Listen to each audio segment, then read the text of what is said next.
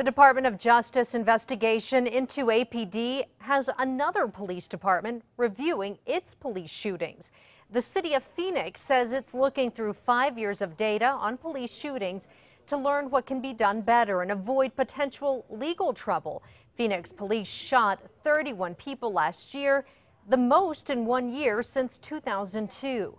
The police chief there says they will study what led up to the violent confrontations.